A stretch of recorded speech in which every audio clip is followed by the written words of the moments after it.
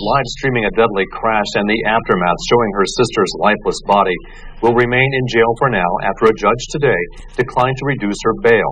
18-year-old Obdulia Sanchez is accused of killing her 14-year-old sister one week ago near Los Banos. With tissue in her hand and at times tears streaming down her face, Obdulia Sanchez stood in front of a Merced County judge, asking to either be released or have her bail reduced from $560,000. I did speak with uh, Ms. Sanchez at length yesterday about what to expect today, and quite frankly, this is what we expected to happen. Based on the serious nature of the charges and a prior reckless driving offense, the judge refused to lower it.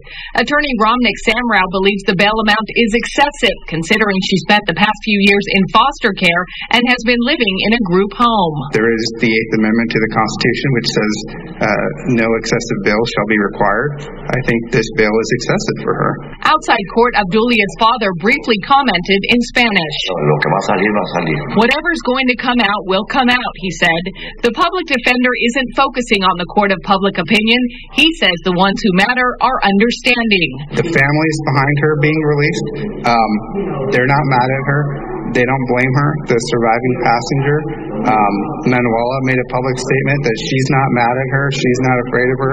The district attorney said the bail schedule is set strictly according to charges, and this case was no different.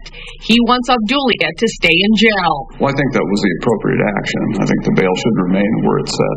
As he gets to know his client, Samrao said he's learned more about Obdulia's personality and the culture she was raised in. He said that explained the lingo in the live stream video seen across the nation. But he says the video was stopped between the deadly crash and then streaming of Jacqueline's still body.